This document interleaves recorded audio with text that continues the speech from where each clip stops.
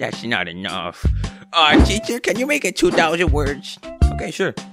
Everyone, you now have to write 2,000 words.